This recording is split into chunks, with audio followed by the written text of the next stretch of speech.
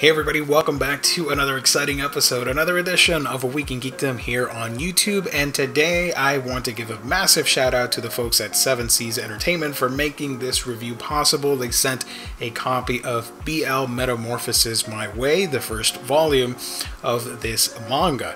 So, what exactly is BL Metamorphosis? Now, the story involves Ichinoi, a 75 year old grandma who teaches calligraphy. She is with and it's just le- uh, living this wholesome, uh, wonderful life. And one day, out of the blue, she goes into her local library and sees that uh, I believe she was looking for something else and instead found the manga section of that library and she unwittingly buys a boys love manga.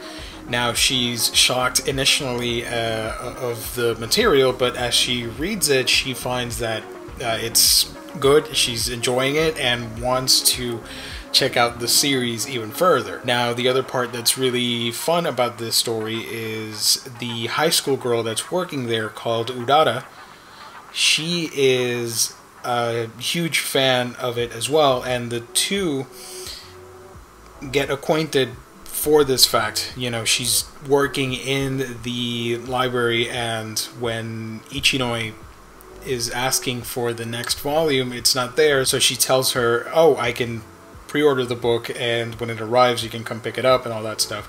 So she does, and what soon follows is a heartwarming, beautiful, uh, quaint little story about unlikely friendships and the power that uh, this medium can have, and by that I'm referring to books and the power to unite people over a common interest. I had no idea what the book was about, so it, it caught me by surprise, and I ended up just reading it with a big old smile.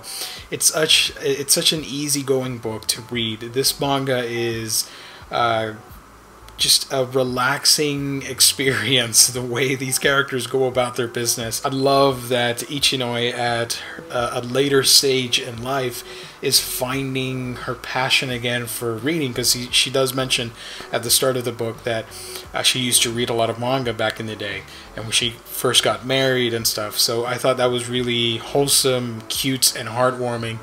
Her relationship that uh, she forms with this high school girl uh, is sweet and endearing, and Urara is very shy in school and mostly around everybody.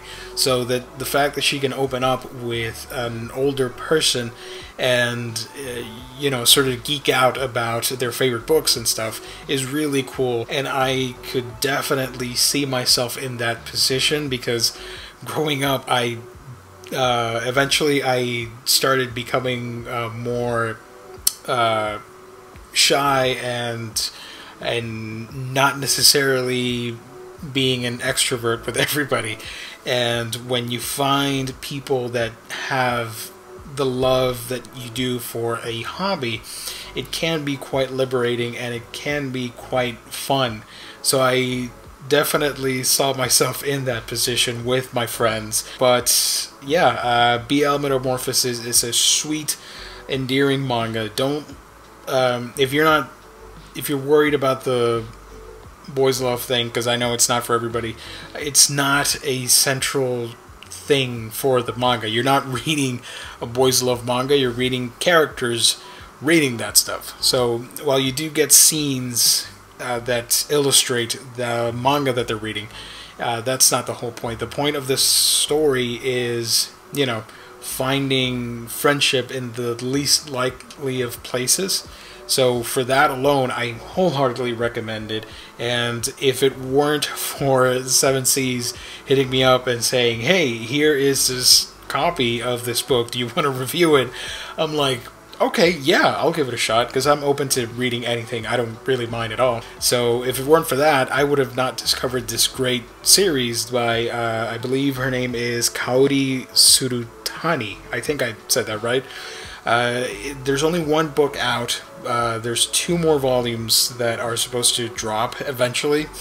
But if you can, do give it a read. It's very wholesome, very endearing, like I've said. The art is relaxing and um, like light uh, brush strokes, if you will, and it's it's a very clean palette. What you're reading, it's very breezy and easy to follow. You'll read it really quickly. It's a very light, uh, fast read, but you have a fun time with it. The characters are, are really cool. I love the relationship that forms between Ichinoi and Urara, and the story is sort of slice of life ish with uh, hints of comedy.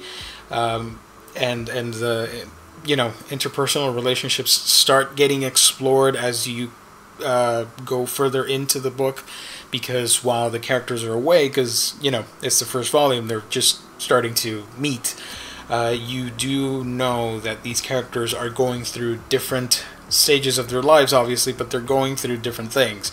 And uh, i am very excited to check out volume 2 to see where the story continues and to see if maybe life experiences helps uh, Urara, uh, you know, uh, shed some of that shyness away, and how her relationship with this uh, person that she knows from high school, if that evolves or progresses forward. One of my favorite things about this book is uh, there's a scene in the first volume where Ichinoi is looking at the second book, and she is wondering, okay, so volume three or the next one isn't out yet. It's it looks like the writer's doing one per year.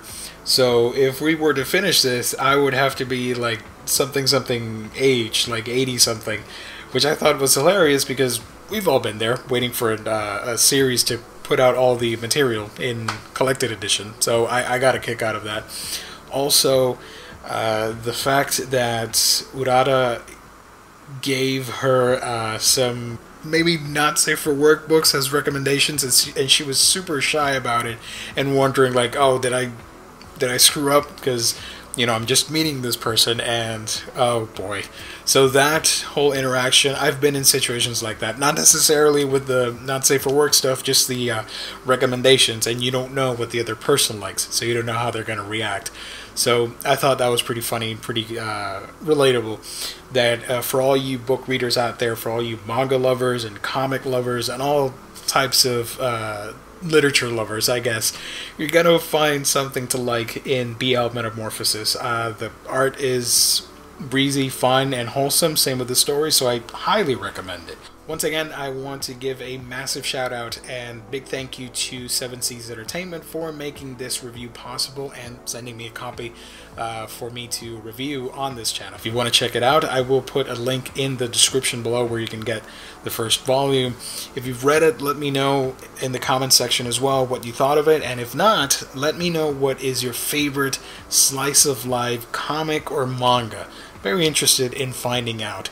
Guys, as always, uh, thank you for liking, commenting, subscribing, and being a part of A Week in Geekdom here on YouTube. It really does mean a whole ton.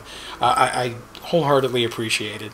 You can also follow me on social media Facebook, Twitter, Instagram, all that fun stuff. Also, I, I got to remember to keep doing this because I always forget. I've had a merch store for for a while, and I always forget to mention it at the end of the videos.